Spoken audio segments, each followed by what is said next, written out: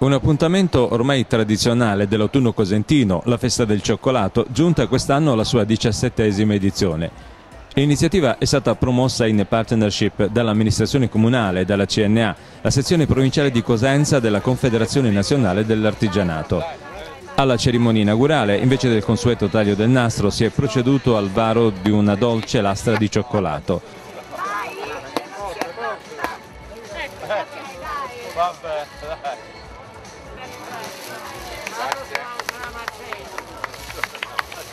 Devo dire che la città in questi anni è molto migliorata da un punto di vista della qualità della vita all'esterno, quindi questo tende a valorizzare tutti gli eventi che, che vengono eh, poi in qualche modo eh, rifatti insomma, ogni anno in modo diverso. Quindi, c'è stato un ottimo lavoro dell'assessore Pastori in questo caso, che ringrazio.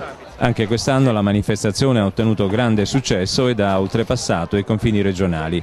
Una vetrina quindi d'eccezione per i nostri maestri cioccolatieri e non solo. A partecipare infatti non solo gli artigiani del territorio provinciale ma anche maestri cioccolatieri giunti da tutta Italia attirati dalla fama della manifestazione. In particolare 50 sono stati gli espositori provenienti da tutta Italia lungo l'isola pedonale di Corso Mazzini. Decine le iniziative programmate, tra queste lo show cooking dello chef stellato Alessandro Circello, volto noto delle reti RAI, Mediaset e Sky.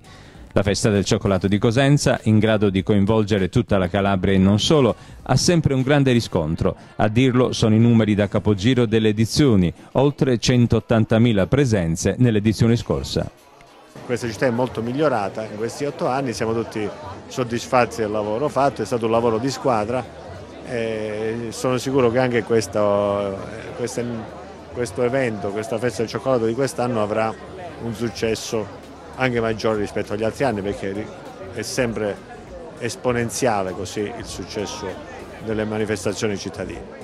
Quindi eh, invito tutti a venire a Cosenza, anche non solo le persone che sono qui nella nostra area urbana e della provincia, ma anche dalle altre province. Cosenza sempre più dimostra di essere una città innovativa, una città attrattiva, una città bella dove si vive bene dove si può creare nuove opportunità di ricchezza, soprattutto per i giovani.